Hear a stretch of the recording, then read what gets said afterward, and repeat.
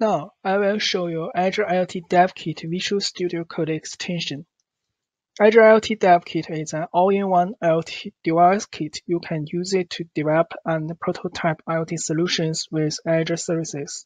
The extension can help you to set up IoT DevKit dev environment and build IoT project very easy and fast. Now let's create a new project with the extension. Open the drop-down list and select Initialize Project and select IoT Hub project. Now here we use the default file name device.ino.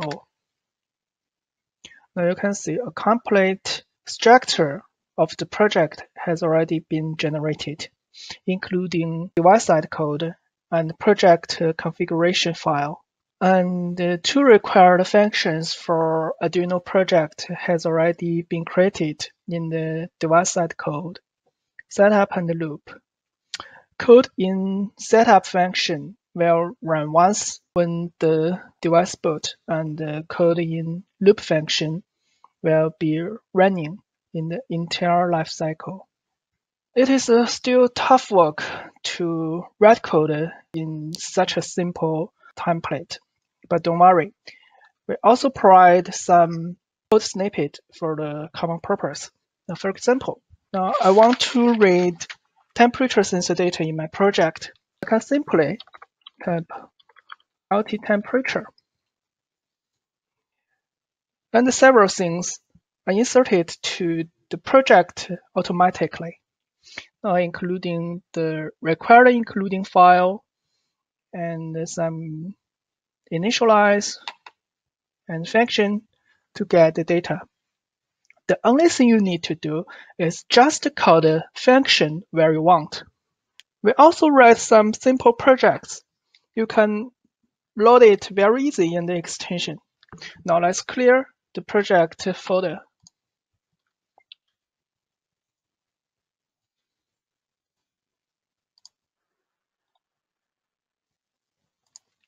Open the drop-down list and uh, select examples.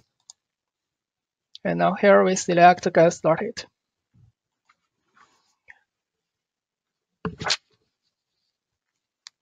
The extension will download the example from GitHub and then import it into the current project. Very smooth, right?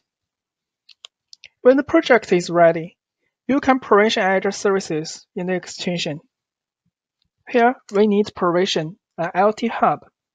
Open the drop-down list and uh, select Edge Provision. We can select an existing IoT Hub or create a new IoT Hub.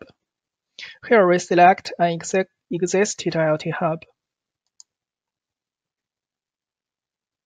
And then select the subscription. And then select the IoT Hub we want. Select an existing IoT hub device. And we select AZ3166. Okay, edge provision has been succeeded.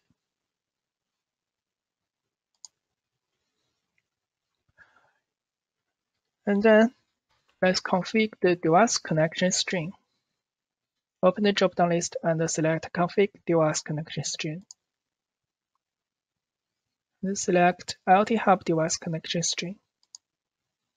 Okay, we can see the device connection string has been configured successfully. And last, we can upload the device code to DevKit. I will select device upload.